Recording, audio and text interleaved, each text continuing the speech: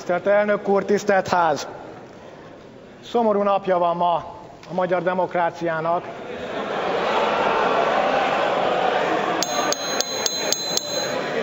Kérem tisztelt képviselőtársaimat, most ezzel alkalommal különösen a kormánypárti oldalon, hogy továbbra is őrizzék meg a méltóságukat és a higgadságukat.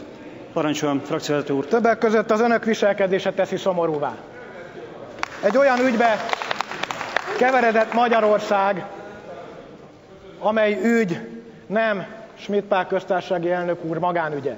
Ez az ügy a magyar demokrácia ügye, és annak a rendszernek az ügye, amely Schmidt Pál köztársasági elnöki székbe segítette.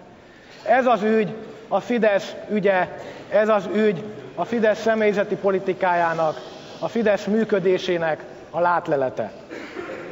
Nem az a baj, hogy a köztársasági elnök 20 évvel ezelőtt egy olyan doktorátust nyújtott be, egy olyan diszertációt nyújtott be, amely nyilvánvalóan az akkori szabályozások és az akkori szokások szerint sem felelt meg a normáknak.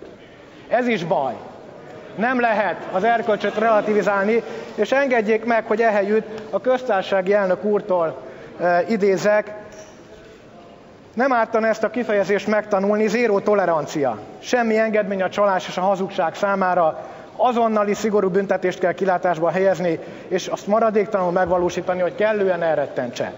Maga a plágium ügy is tűrhetetlen, és nyilvánvaló, hogy egyetlen vállalható döntése volt a köztársasági elnöknek az, hogy lemond a posztjáról, ezzel nem teszi azt a terhet a Magyar Köztársaság Magyarország vállára, amit az ő erkölcsi megsemmisülése jelentett. Az, hogy ez mostanáig húzódott, ez viszont az önök szégyene. És az, hogy ma itt az ülésteremben egy olyan magyarázkodást hallottunk a köztársasági elnöktől, amely olyan embereket alázott meg, olyan embereket vádolt meg, akik a maguk részéről az erkölcs védelmében léptek föl, hogy az egyetemi eh, szenátusnak a döntését támadta meg, hogy azoknak a, a lépései, döntéseit támadta, akik kiálltak az egyetlen vállalható erkölcsös döntés mellett, hogy egy lopott doktorival és az ezt övező későbbi hazugságokkal nem lehet köztársasági elnöknek lenni Magyarországon, ez vállalhatatlan.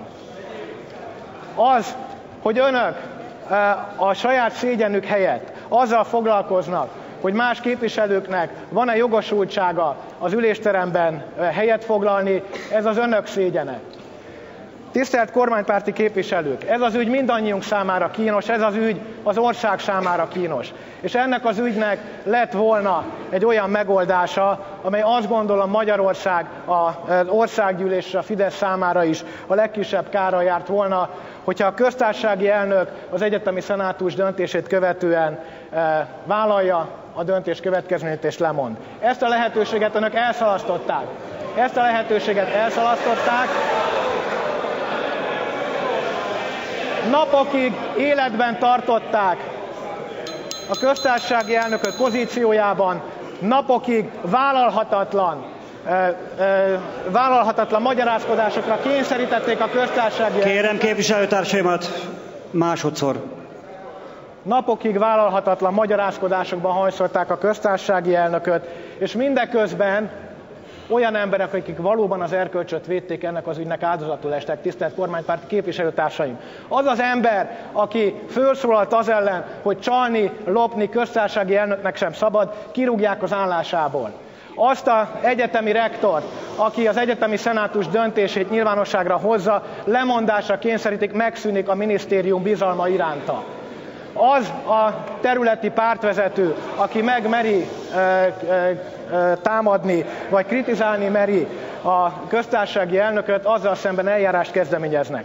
Tisztelt kormánypárti képviselők, önök ezen az erkölcsi próbán elbuktak, a köztársasági elnök nagy nehezen meghozta azt a döntést, amit csak üdvözölni lehet, hogy lemond erről a pozícióról az ország érdekében, és e- ezért a lemondásért elismeréssel tartozunk neki, de önök, tisztelt kormánypárti képviselők, a mai napon az erkölcs vizsgáján megbuktak, a saját maguk által oly sokszor hangoztatott morál vizsgáján megbuktak. Köszönöm szépen!